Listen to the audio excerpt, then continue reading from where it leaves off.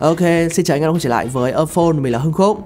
Năm 2021 thì rất là nhiều dòng máy smartphone đã đều được trang bị sẵn kết nối 5G rồi. Từ những dòng sản phẩm cao cấp cho đến những chiếc máy tầm trung.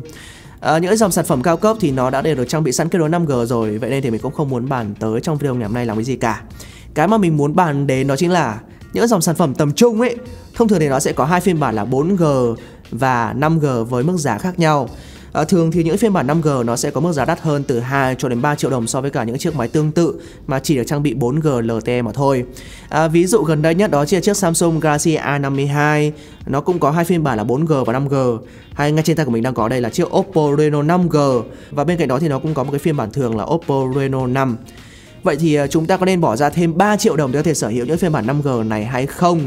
Hay nó là một cái điều uh, phí phạm? Thì các bạn hãy cùng mình tìm hiểu trong video ngày hôm nay nhé. Đầu tiên, để bắt đầu 5G trên điện thoại, các bạn hãy truy cập vào phần cài đặt thẻ SIM và dữ liệu di động. Tại đây thì các bạn chọn SIM muốn sử dụng 5G và hãy nhớ là tắt chế độ Smart 5G đấy nhé.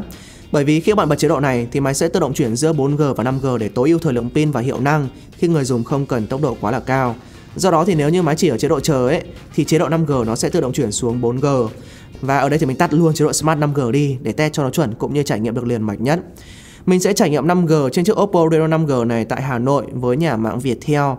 Với khu vực là nhà thờ lớn Hà Nội, mình test thử lần đầu và kết quả cho ra cũng rất là tốt với tốc độ download đạt là 921 Mbps trên giây và tốc độ upload đạt 71,2 Mbps trên giây. Khi đó thì dung lượng data tiêu tốn lên đến là 1,5 GB chỉ trong vào khoảng là 30 giây thực hiện mà thôi. Sau đó thì mình thử tải tựa game Alpha 9 với dung lượng vào khoảng là 2 GB. Thực tế chỉ mất vào khoảng là 1 phút 17 giây để hoàn thành quá trình tải xuống Alpha 9 mà thôi. Tốc độ này là vô cùng tuyệt vời. Nó nhanh gấp đôi nếu so sánh với cả 4G hay thậm chí là cả Wi-Fi thường, nó mất lên đến là 3 phút cơ. Còn về tốc độ tải lên thì mình có một video 10 phút quay bằng chính chiếc Oppo Reno 5G này, có độ dài vào khoảng là 10 phút với tổng dung lượng là 1,58 GB. Quá trình tải file lên YouTube chỉ mất vào khoảng là 3 phút 32 giây mà thôi. Trong khi thì với 4G không biết là đến mùa quýt năm nào thì mới tải xong nữa. Ok, test đến đây thì mình cảm thấy rất là sướng, tốc độ quá là nhanh, cả upload lẫn đảo loạn.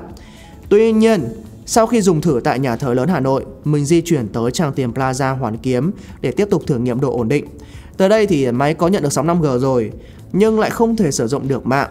Và sau 3 lần liên tiếp mình tắt đi bật lại chế độ máy bay để cho máy kết nối lại thì kết quả vẫn là dòng chữ fail test, thử nghiệm thất bại. Và lần cuối cùng thì mình di chuyển thêm vào khoảng là 800m tới phố Đinh Tiên Hoàng cùng với khu vực Hoàn Kiếm nhé.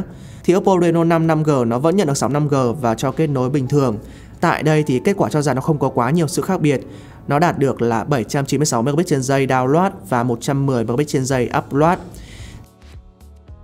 Rồi, và như vậy là sau một buổi chiều mình test thì mình kết luận lại ra rằng kết nối 5G tại Việt Nam lúc này là rất là ngon về mặt tốc độ rồi. Nhưng mà sự ổn định thì chưa cao, mặc dù là mình vẫn đang ở trong vùng phủ sóng đấy nhá. À, vậy thì chúng ta có nên bỏ ra từ 2 cho đến 3 triệu để thể mua những phiên bản 5G này hay không? Đó vẫn là câu hỏi quan trọng hơn mà mình sẽ giải đáp cho các bạn trong video ngày hôm nay. Thì kết quả là có và không. có trước nhá.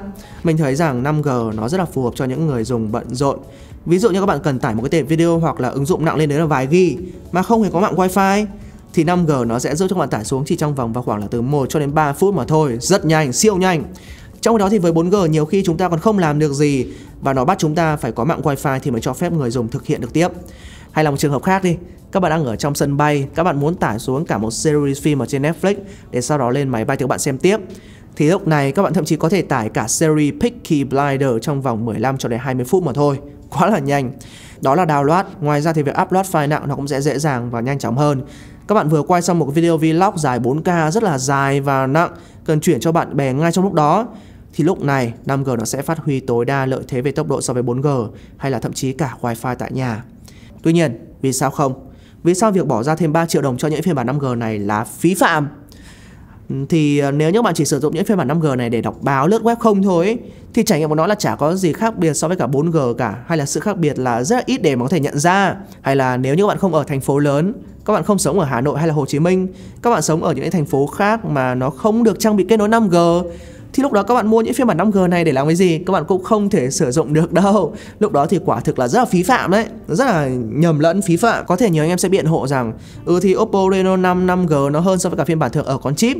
Nhưng mà Snapdragon 765G nó cũng chả hơn Snapdragon 720G là bao. Vậy nên thì anh em hãy cân nhắc thật kỹ trước khi bỏ ra thêm 3 triệu đồng để có thể mua những phiên bản 5G này nhé hoặc là nếu như anh em là một tuyết người sử dụng điện thoại từ 3 cho đến 5 năm, hoặc là anh em mua cho bố mẹ chẳng hạn thì khi đó mua luôn những phiên bản 5G này cho nó khỏi nhức đầu nó có độ bền và nó cũng có một cái độ dài về thời gian cao hơn ứng dụng được lâu hơn. Còn nếu như bạn là một người thường xuyên đổi smartphone hàng năm ấy thì hãy cân nhắc đến những trường hợp nên và không nên mà mình đã đề cập ở trên nhé.